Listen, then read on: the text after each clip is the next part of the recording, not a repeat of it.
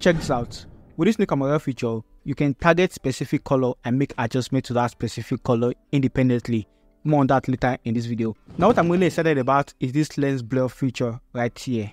Now with this new tool, you can control the blur of your image even after you take the image.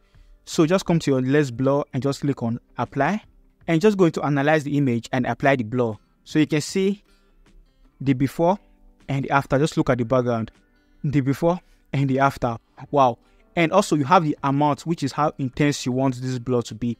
So you can make the blur more intense by taking this slider up to 100% and the blur is just going to be intense as you can see.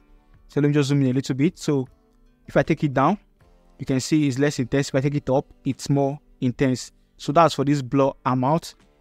And for the bokeh, you have the option to customize your bokeh. So this is the first one right here. So you can choose this other one. You can choose this. You can choose this. So you have different options to choose from but this first one is okay.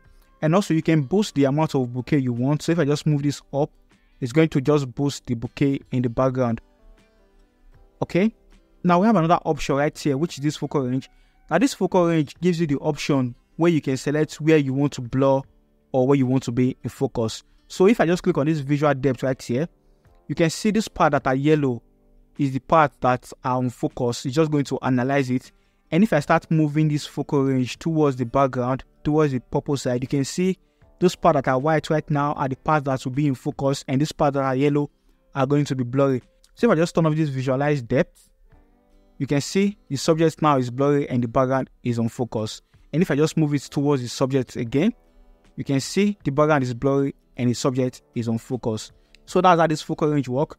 And you can choose to select subject or with this pointer icon right here, you can choose to point and select where you want to be in focus. So if I just click on this pointer and select the background, it's going to make the background be in focus and the subject is going to be blurry. And I can just pick on this tool again and just click on the subject and the subject is going to be in focus and the background is going to be blurry. So that's for this focal range right here. Now we have another option. If I just click on this drop that icon, you are going to see refine. So if I just click on it, you can see we have focus brush and blur brush. So let's say I want this part of the image to be blurry. I can just pick my blur brush and just increase the size of the brush as you can see or decrease the size of the brush. Then increase the amount of the blur which I want to add and decrease the amount of blur which I want to add and just feather the brush. And you can choose the flow to 100% or 50% if you want. So you have options to adjust your brush. So if I just paint on this place right here, it's just going to make this part blurry just like this. And if I want this part to be in focus, I can just click on my focus brush and just brush on this part and add this part to be in focus. Wow, this is amazing. I really, really like this feature. Okay, now you can just click on this place to reset it. So that's for the lens blur. Just use it to the best of your ability. And remember, if you're applying it, just make sure the amount is set to minimum and not 100% because it's going to look fake. So just try and get the sweet spot and just leave it at that. Now another new feature that was added to Camera is this color pointer right here. So before, if I try to adjust all the shade of yellows and I just come to my yellows, I just play with the saturation of the yellows, it's going to affect the whole shades of yellows. But with this new point color right here, you can target a specific shade of yellow. So if I just click on this eyedropper tool right here and just sample this first color right here. Now this feature has already been in Camera. Let me just go to my Camera and show you. I want to target this specific color right here. I just go to my color I'll click on color editor and I'll click on advanced and with my picker tool selected I'm just going to sample this color right here and just take down the smoothness and click on this view selected color range so that I can see colors that are selected or not. So the, the colors that are not selected are going to be black and white. So once this view selected color range is checked, I'm just going to, remember I sampled this first one right here. I want only this color.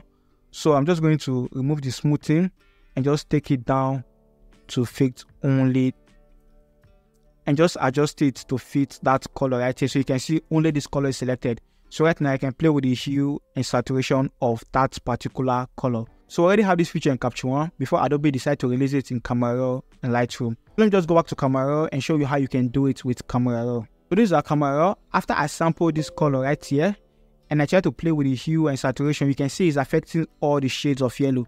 Now the first thing you have to do is just move this range down to about 0% because we're targeting only this specific color. If so, right now if I play with the hue and saturation, you can see it's not affecting this shade of yellow. It's only affecting these two shade of yellows right here. So if I just play with it, you can see. So for this box right here, if you take it to the right and left, you are moving the hue. And if you take it to the up and down, you are moving the saturation.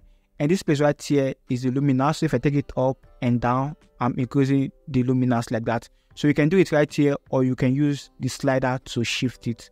So since I targeted only this color and I don't want the rest shades of yellow to be affected, so I'm going to click on this icon right here. And those parts that are selected are going to be black and white, just like Capture One.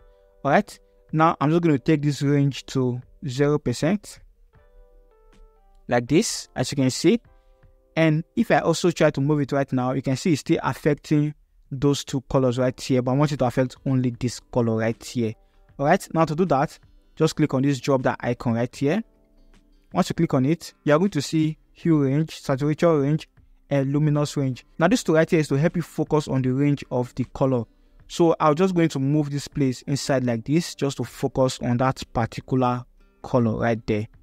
Okay. Also, I'll move the saturation inside like this just to focus on only that particular color. And also for the luminance, I'm going to move it inside like this because I want to focus on only that particular color right there. So these two right here are the feather. So how much you want to feather it? Those are the two right here. So I'm going to feather it inside a little bit. Remember, I'm targeting only that particular color right there. Okay.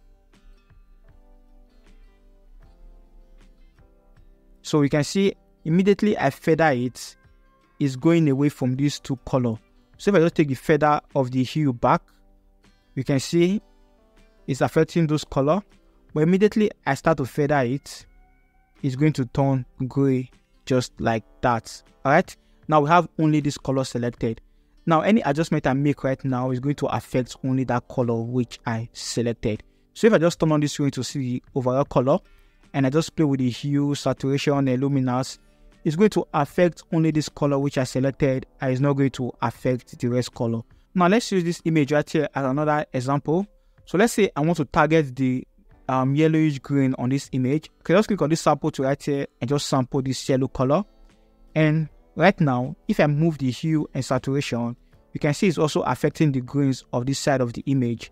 But I don't want that. I want it to affect only these bright yellows right here. So to do that, I'm just going to come to my range and just click on the range so I can see where it's selected. So those parts that are black and white are no longer selected. Those parts that are green are the parts that are selected. But I don't want it to affect these greens right here. So I'm just going to take the range down to about 0%. So you can see it's still affecting it a little bit. Now I can just move. Now I can just move this range right here and just take it to be more specific like this. And just move the feather away from those green parts like that. Now you can see the green right now is no longer selected, is now black and white. So any adjustment I make right now is not going to be affecting that other green, it's just going to be affecting this bright yellows green right here. So if I just click on this place right here to turn the color on and I just play with it, you can see it's affecting those yellow greens right there, which I selected. So I target that place specifically. So that's why it's affecting only that particular place. So you can do this for any color of your image. I'm mostly excited about the lens blur because I already know this feature inside of Capture One. I know I can do this in Capture One, but that lens blur is a game changer for me. I'm going to be using that a lot. And if you want to learn how to retouch your image, you just one click, click on this description right here. I'll see you guys in my next one. Stay creative.